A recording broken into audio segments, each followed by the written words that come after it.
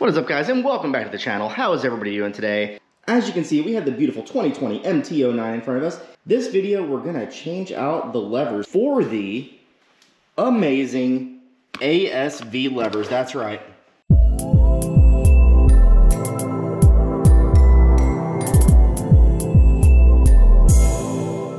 And supposedly, I've done a lot of reading. These are some of the best levers on the market, so I'm excited to get these on the bike. Um, unbreakable.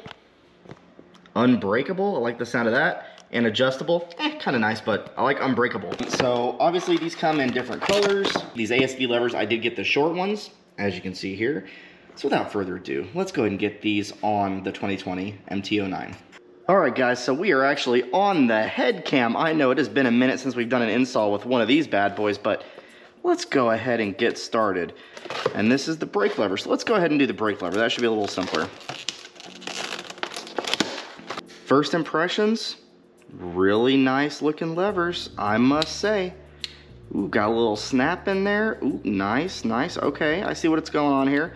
So very nice machined levers. I'm liking that. What do we have in here? We have some springs for Honda Kawasaki's. Don't need that. Uh, Aprilia Yamaha narrow bushing. Maybe gonna need that. And then we have the Honda Kawasaki wide bushing, not gonna need that. So let's go ahead and take off this stock brake lever. So you're gonna need a 10 millimeter socket here.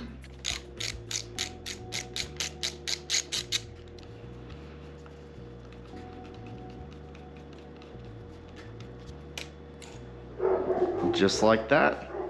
This lever's off. As you can see here, quite a bit shorter, and you're gonna see why we need that small bushing right there. So basically, this bushing goes inside here. Now, we are the right size. Simple as that. So now what we have to do, this in there, make sure that bushing is flush. There we go. Make sure we're nice and lined up. We'll get that boy screwed down just like that. Nice and tight. Then we have our little nut right here. The nut goes on back underneath. Get our 10 millimeter socket.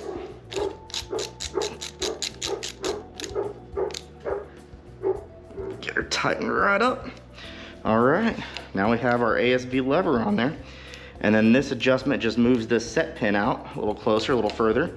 We'll play with adjustments later, but that guy is on. That feels, feels pretty good. I like the two fingers. All right, that's looking sharp. What do you guys think about that? Do you like the look of that? Yeah, I know, the bike needs a bath, I get it. But what do you think about the levers? I think those levers look sharp. Let's move on to the clutch lever. What parts are we gonna need for this? I'm thinking a bushing. Got our bushing again. It's gonna go in there just nice and flush.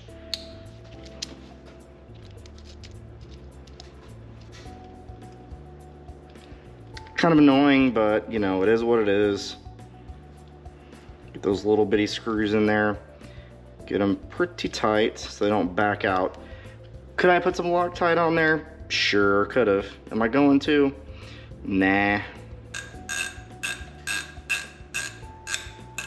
Get that clutch cable out. So basically what we're doing here is just unscrewing the uh, clutch lever. One of the easiest mods to do to your bikes, guys, and I think potentially one of the best looking, you know, I think it gives the bike a fresh look. Now, there we go. We got the nut. We'll push out the pin that holds the clutch lever. And this does have little um, notches on it, so you can see how that fits back in there. So now, let's come over here. We have a little bit of wiggle room now, remember, because we tighten this up all the way so the clutch is super loose. And all we have to do is that. Yeah, it's greasy. Should have known that. Just wiggle this around to where we can get it in here. like that. And do a little flip-de-doo. Set this back. Then put this push pin back in there. Have that seat. Take this nut, put it back underneath here. And voila, tighten this up.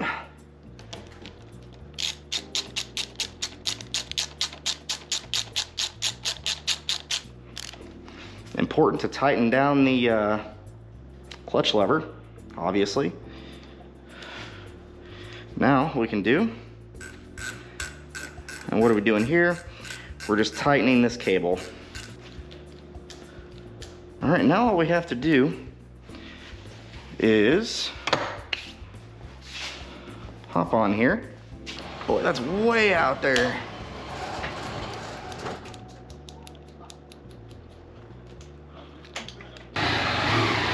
All right, that's about where I want it. So basically we're out here with the ASV levers. So these levers look absolutely terrific.